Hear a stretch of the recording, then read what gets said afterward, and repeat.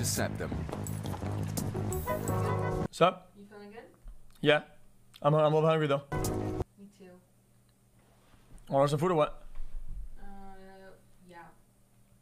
Yep. Open the box.